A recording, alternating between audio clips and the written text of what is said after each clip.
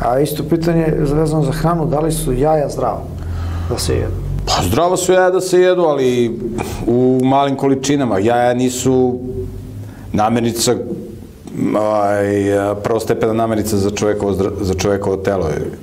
A, jaja su, a, ono, je mašina za, na, na biljke, na ugljene hidrate. Vi u, u jajima nemate ugljene hidrate. Znači, jaja su holesterolska bomba, znači velika koncentracija masnoće.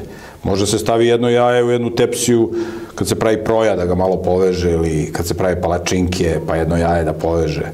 Ali da se sad ispeče četiri jajeta i da se jede, to se ne preporučuje, to zakrčava krvne žile.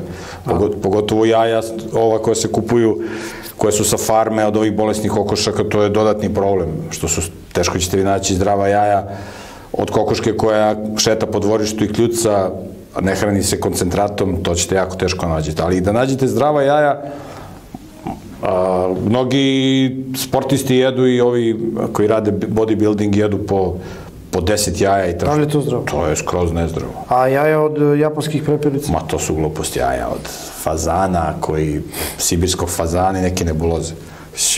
To su, to su nebuloze.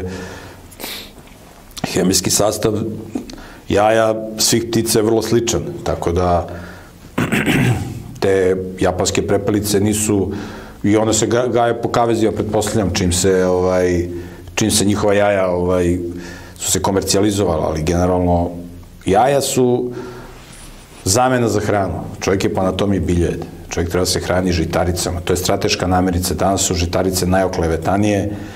Ne valja pšenica, hleb goji i slične gluposti. To nije, to nije istina. Integralni hleb, hleb od integralnih žitarica i jedenje integralnih žitarica je najvažnija namirnica u čovjeku ishrani, a jaja su nešto sporedno što može da bude kao neka vrsta začina ili tako nešto i to jaja ako su od zdravih kokošaka.